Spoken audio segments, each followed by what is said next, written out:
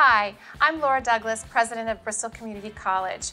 Welcome to BCC and congratulations on being a Bayhawk. You've made a great decision in coming to BCC and we're here to make your experience great. Our number one focus is your success.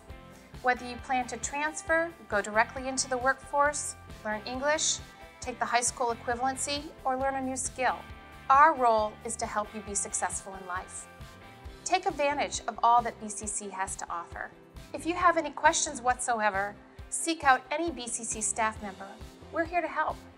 I'm excited about the possibility of what lies ahead for you. Over the next few days, make sure you introduce yourself to your classmates and instructors and work to build a strong circle of friends. I want to know about your BCC experience and I invite you to engage with me on Twitter at PresBCC. Welcome to Bristol Community College.